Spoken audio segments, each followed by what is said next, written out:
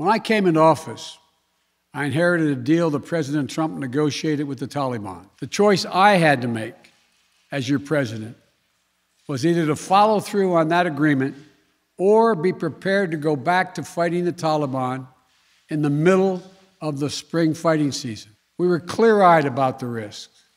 We planned for every contingency, but the truth is, this did unfold more quickly than we had anticipated. So, what's happened? Afghanistan political leaders gave up and fled the country.